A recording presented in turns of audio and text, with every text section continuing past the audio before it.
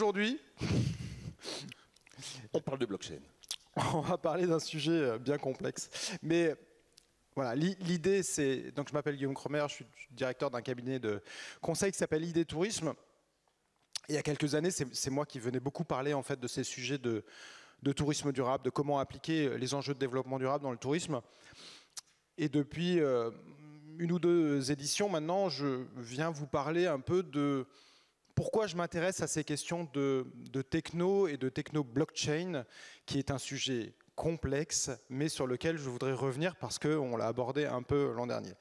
Mais l'an dernier, ça a été euh, mal compris, euh, voire Bon, on s'est marré un peu euh, avec Denis aussi sur la question euh, euh, des casques et de la réalité virtuelle. Et finalement, bah, ça a été un peu mal perçu tous ces sujets. Et surtout, par rapport à une problématique, c'est qu'on a voulu mettre tout dans le même panier.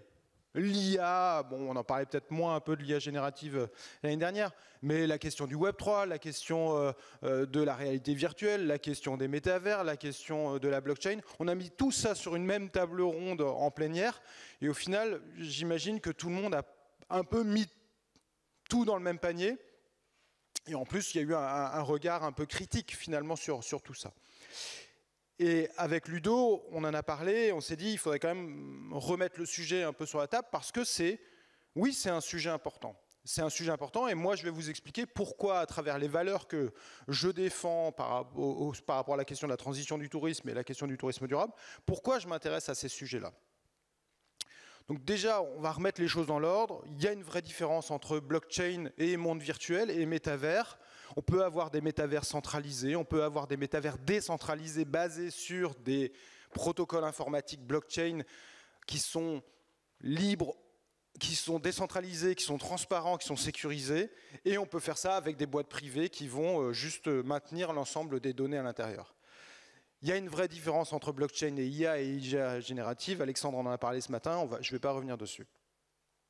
Pourquoi moi je m'intéresse à ce sujet-là Et pourquoi les valeurs que je défends dans le tourisme et dans le tourisme durable me m'ont fait venir sur ce champ de la blockchain?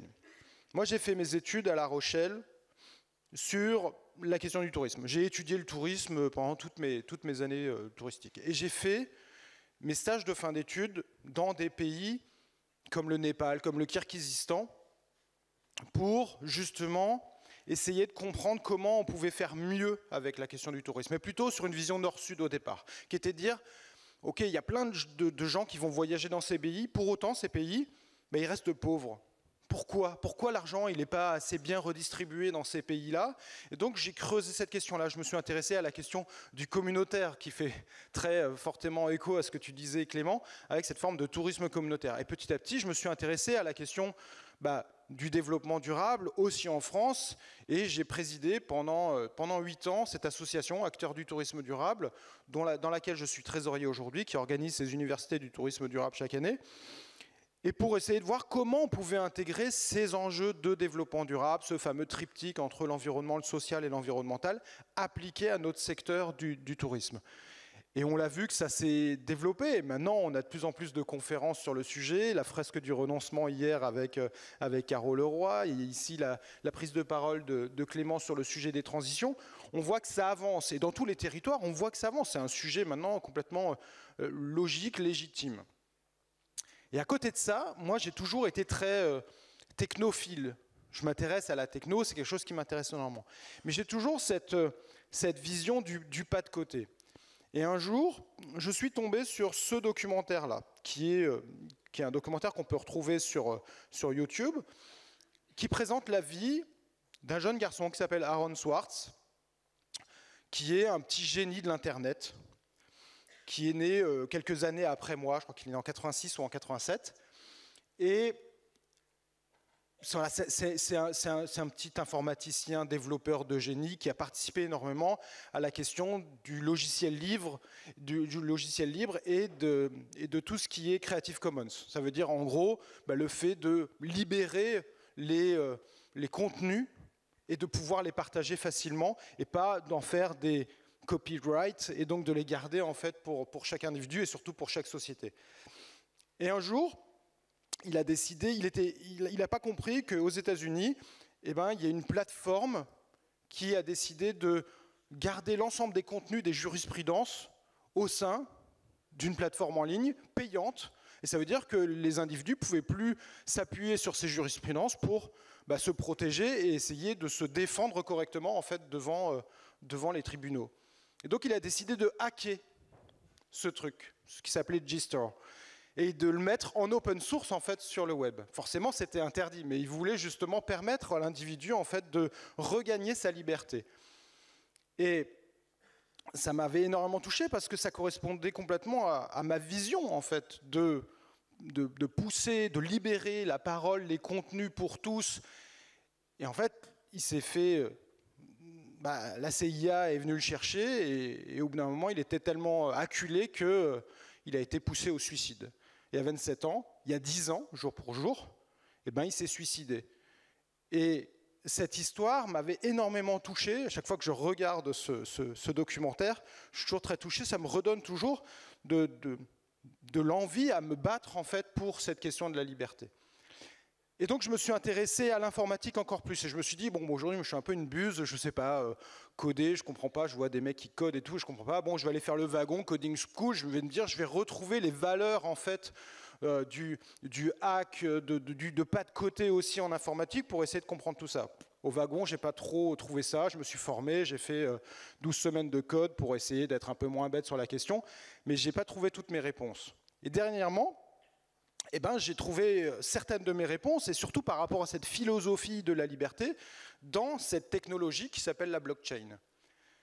Et c'est pour ça que je veux revenir en fait sur cette question. Et donc je suis allé faire cette formation à l'école blockchain pour devenir consultant blockchain à côté de mon travail de consultant sur le tourisme, sur le tourisme durable, et de lier justement en fait les deux. Sans rentrer dans le détail de la blockchain, parce que je vais en parler beaucoup plus sur la conférence et l'atelier numéro 1 à 11h30, mais l'idée c'était d'essayer de comprendre. Et j'ai retrouvé l'ensemble de ces valeurs dans les cours en fait qui étaient, présentés par, par à l'école blockchain et ça m'a permis d'apprendre, de comprendre et de voir des applicatifs forts par rapport à notre secteur du tourisme. Donc j'ai été diplômé, j'ai reçu mon, mon, petit euh, micro-certification délivrée basée sur la blockchain où j'ai mon diplôme désormais euh, basé sur euh, ce grand registre immuable en ligne décentralisé. Et à partir de là, maintenant, j'essaye d'amener ce, sujet-là. Et on a créé avec certains acteurs du tourisme, que ce soit Galic, euh, qui est euh, directeur euh, adjoint à, Charente Tourisme, qui a aussi fait cette formation blockchain, et avec d'autres startups qui commencent à travailler sur le sujet, comme Wheatland, qui est ici, et dans laquelle on va, avec qui, François Xavier, on va faire une conférence cet après-midi, un atelier sur la question de la Gen Z et du Web3.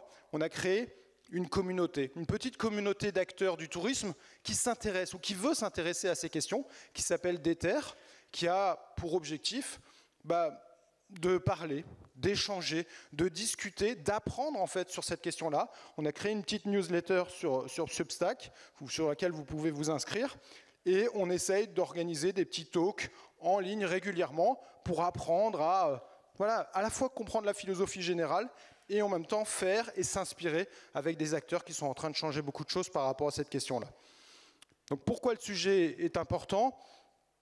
Rapidement, aujourd'hui, on a une défiance envers les banques. On parle d'inflation, vous le voyez dans l'économie, que, que, ce soit chez nous ou que ce soit ailleurs. Une, une défiance envers les, envers les États. De plus en plus, on commence à se poser énormément de questions par rapport à ça. Envers les grandes entreprises, les GAFAM, etc. L'enjeu de la blockchain, c'est justement de sortir de ça et de dire on a il n'y a pas de pouvoir centralisé avec la blockchain parce que c'est un réseau distribué où on va retrouver en fait bah, une information qui est distribuée sur l'ensemble des ce qu'on appelle des nœuds en fait des, différents serveurs. Il n'y a pas de coupure de réseau parce que justement on retrouve l'information qui est partagée partout. C'est pas juste une institution centralisée qui possède toutes les informations comme un Google, comme un, comme un Facebook ou autre. Il n'y a pas de censure partielle ou totale. Il n'y a pas de surveillance ou de contrôle des individus et de leurs données personnelles. Donc c'est vraiment d'imaginer encore une fois ce pas de côté par rapport à la société dans laquelle on vit actuellement et de se dire ce protocole informatique basé sur la cryptographie permet de repenser aussi notre relation au numérique et à la société actuelle dans laquelle on vit. Et donc, bien sûr qu'aujourd'hui, en fait, ce secteur, il est critiqué parce qu'il est immature, il est tout récent, parce qu'il y a une confusion sémantique entre blockchain, crypto, bitcoin, euh, et même, comme on l'a vu l'année dernière, avec même les métavers et, tout ça. Et aussi, c'est, on a entendu des scandales, des scandales sur des NFT, sur des histoires, mais comme il y a eu au début de l'ère d'Internet au final où en gros, bah, il y a eu plein de scandales au début d'Internet parce que, bah oui, on pouvait se faire arnaquer. Quand on a commencé à pouvoir mettre sa carte de crédit en ligne, bah oui, il y a eu plein d'arnaques, etc. C'est normal, on est sur un secteur qui démarre, mais pour autant, il y a un intérêt très très fort. Et bien sûr, il y a aussi des racines idéologiques libertaires très fortes, dont je parlerai à 11h30, pour essayer d'expliquer quelle est l'origine de ça. Pourquoi la blockchain a d'abord tapé sur la question des banques centrales et donc la création du Bitcoin pour justement avoir une monnaie alternative. Tout ça a une logique. Mais aujourd'hui, c'est un sujet qui n'est pas simple. Il faut qu'on l'apprenne, il faut qu'on rentre dedans, il faut qu'on prenne le temps en fait d'en discuter d'en débattre ensemble. Et je ne vais pas rentrer dans le détail de la blockchain parce que ça, ça va être cet après-midi. Mais ce qu'il faut savoir, c'est que c'est au cœur du sujet.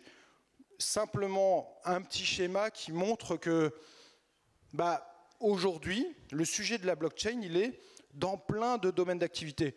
On le voit en bas à droite, dans les services financiers, dans la question de la santé, par rapport à nos données individuelles de santé, pour qu'ils soient sécurisés et pas mis à disposition en fait des grandes entreprises pour pouvoir nous vendre tout et n'importe quoi sur la question de la gouvernance et des États, sur la question des médias, sur la question des transports, de la logistique. Aujourd'hui, dans les 100 plus grandes entreprises, 100 euh, euh, du monde, 86 entreprises utilisent déjà en fait des protocoles blockchain pour gérer, développer en fait des activités au sein de leur entreprise. Donc c'est quelque chose qui est déjà là, Maintenant, il faut voir, nous, comment on va pouvoir gérer ça dans les applicatifs par rapport à notre secteur du tourisme. On le voit, il y a le terme travel, on est bien sur quelque chose de très fort. Et on voit là, sur, euh, sur un petit schéma de répartition de l'usage et du secteur de l'usage en fait de la blockchain, on voit très bien que aussi le voyage, il est là, et on peut avoir plein de, d'idées d'applicatifs, et c'est ce qu'on va voir tout à l'heure. Pour les personnes qui, qui ne qui ne pourront pas aller euh, aux deux ateliers liés à cette question-là. Je voulais simplement vous présenter deux petits livres. J'aurais pu les mettre en grand, mais bon. Le premier, c'est Comprendre les monnaies numériques et leurs enjeux économiques et politiques, Bitcoin et crypto-monnaies faciles de Claire Balva et Alexandre Stachenko. C'est deux personnes qui prennent beaucoup la parole en fait sur le sujet. Donc si vous venez pas, ça permet juste de bien comprendre les enjeux, sans rentrer dans la technique de qu'est-ce, comment ils expliquent un peu comment fonctionne la blockchain, mais l'intérêt c'est surtout à quoi ça peut servir. Et c'est pas un outil pour euh, savoir sur quoi spéculer, etc. Ça n'a rien à voir. Ils le disent même en intro du bouquin, mais c'est vraiment très très intéressant. Et si, si vous voulez un truc encore plus accessible, il y a cette BD qui vient de sortir, qui s'appelle Alice au pays des cryptos Bitcoin, NFT et autres curiosités de Nicolas Ballas et Daniel Villamontero. Daniel Villamontero, c'était le directeur pédagogique chez Alira École Blockchain. Et c'est vraiment hyper accessible, que ce soit pour nous, que ce soit pour vos enfants, pour comprendre un peu quels sont les enjeux derrière tout ça. Et donc je vous le conseille vivement, c'est vraiment très intéressant. Voilà. Et sinon, on se retrouve à, bah, tout à l'heure à 11h30. Tout à l'heure à 11h30. Pour reparler de l'histoire, comprendre tout ça et revenir après sur la question de l'applicatif sur le tourisme, bien entendu. Merci beaucoup Guillaume d'être venu sur ce sujet.